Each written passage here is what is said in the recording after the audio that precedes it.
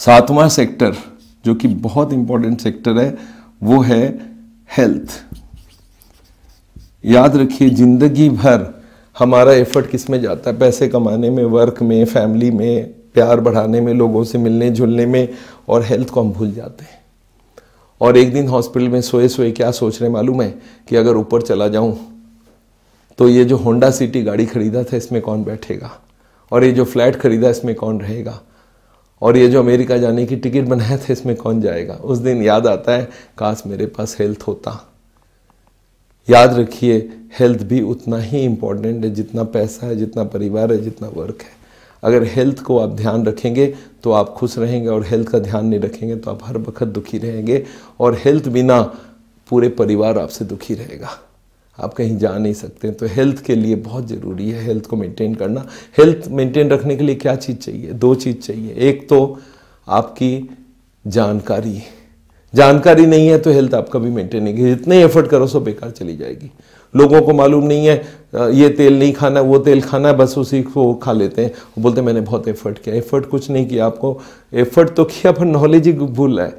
तो आपके पास दो चीज़ चाहिए, एक तो नॉलेज और एफर्ट नॉलेज है और एफर्ट ना करो तो भी बेकार है। आपके पास सब जानकारी आप कर ही नहीं रहे हो तो बेकार है। तो दोनों चीज़ चाहिए नॉलेज भी चाहिए एफर्ट भी चाहिए, तब आपका जाके हेल्थ भी ठीक रहेगा। और लास्ट जो सबसे इंपॉर्टेंट चीज़ है, वो है जी ओ डी गॉड अल्लाह भगवान क्राइस्ट जिसको भी आप मानते हैं, उनके ऊपर पूर्ण आस्था। आप देखिएगा, ये हमारे स्ट्रेस मैनेजमेंट का बहुत बढ़िया चीज़ है। अगर अल्लाह या भगवान हमको तकलीफ़ देती है तो भी कोई प्रॉब्लम नहीं है। और अगर ये खुशियाँ देती है तो तो अच्छी बात है। तकलीफ़ दे तो ये सोचो, मेरे को ट्रेनिंग दे रहा है वो। मुझे इतनी परेशान कर रहा है कि मैं और ज़्यादा हार्ड वर्किंग हो जाऊँ और थोड़ा स्ट्रॉन्ग हो जाऊँ। तो मेरे पास ऐसे लोग आते हैं, बोलते हैं, डॉक्टर साहब, मेरे सारे सेक्टर ख़राब है, परिवार सेक्टर ख़राब है, पैसे सेक्टर ख़राब है, पर मैं भगवान के भरोसे चल रही हूँ, भगवान जो बोल रहा है वही कर रहा हूँ मैं, और भगवान तकलीफ़ भी दे रहा है तो उसको भी एंजॉय कर रहा हूँ। तो भगवान के ऊपर भरोसा होना बहुत इंपॉर्टेंट है। तो याद रखिए, आप अपने अपने अंदर झाँक लीजिए और देख लीजिए कौन सा कौन सा सेक्टर ख़राब है।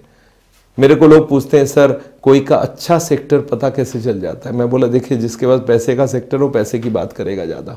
जिसके पास परिवार का सेक्टर है, बोलेगा, सर, ये मेरा बड़ा बेटा है, ये मेरा छोटा बेटा है, ये बीचला बेटा, सारे को लेके आता है डॉक्टर को दिखाने। मैं उनको बोलता हूँ, आपके पैसा बोलते नहीं, पैसे मेरे पास है नहीं। तो हर के पास दो चार अच्छे सेक्टर हैं, दो चार खराब सेक्टर हैं। अच्छे सेक्टर से तो स्ट्रेस नहीं होता, पर खराब सेक्टर्स को ठीक रखना बहुत ज़रूरी है। तो आपको याद रहे, अपना अपना सेक्टर्स को ढूंढिए। जो ख़राब सेक्टर है वीक सेक्टर है, उसको ऊपर बढ़ाने का कोशिश कीजिए। और अगर ये सेक्टर्स का ध्यान रखेंगे तो आपका स्ट्रेस काफ़ी हद तक कम हो जाएगा।